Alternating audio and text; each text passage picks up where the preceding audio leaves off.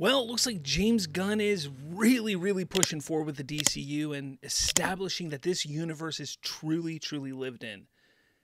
This coming from a rumor over on Reddit, it seems that the Teen Titans and Justice League will already be somewhat established in the DC universe when Superman comes out in 2025 it says the DC universe is poised for a significant transformation, with rumors swirling that the beloved Teen Titans have existed in this expansive world all along.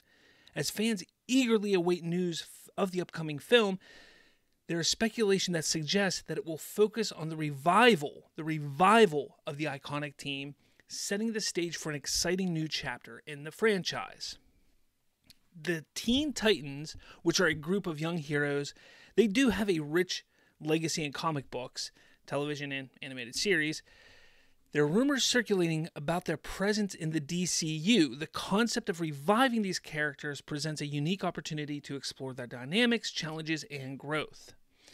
Now, the film everybody is expecting this is just kind of the expectation is that it's going to highlight the relationships between characters like Robin, Starfire, Raven, Beast Boy, and Cyborg. That's kind of the hope. I'm guessing James Gunn's going to kind of have his own little twist on it. Uh, he's not going to be writing it or directing it, I'm sure, because after Superman, we're going to get into that in a second. I think he's got something else up his sleeve.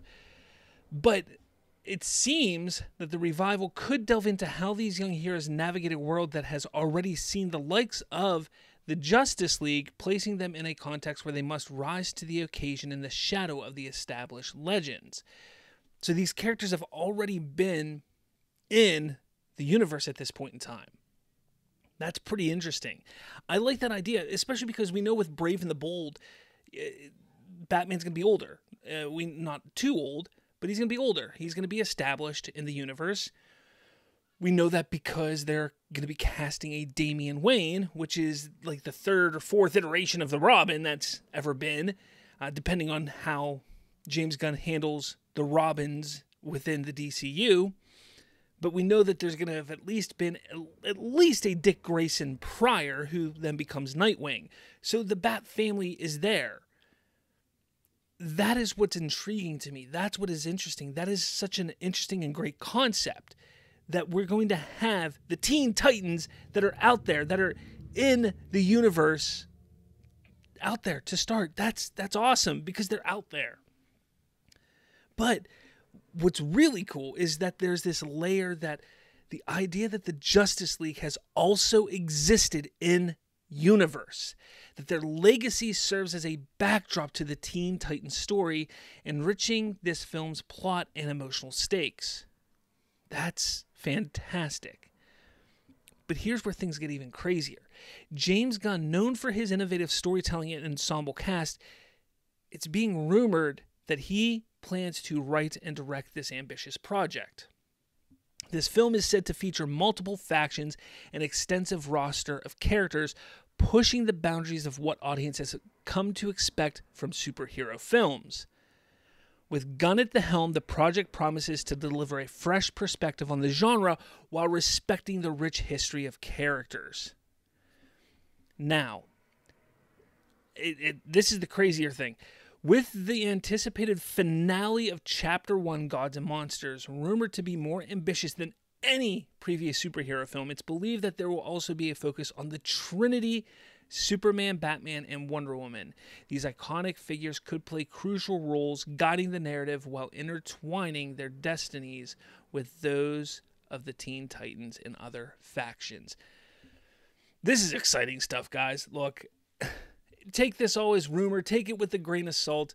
But this is the type of stuff that we want to see with DC. This is the type of stuff that we've been just itching for when it comes to DC. Does this mean this is exactly what's going to happen? Probably not. But I'm hoping it is. I'm hoping it is.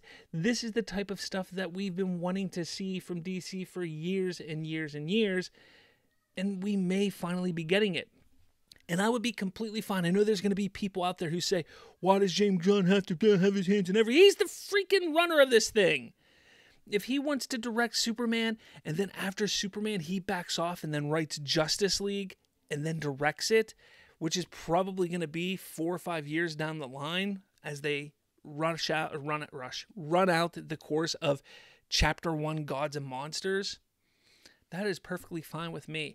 Let him step back, produce all these movies within this first chapter while he writes and prepares this Justice League movie.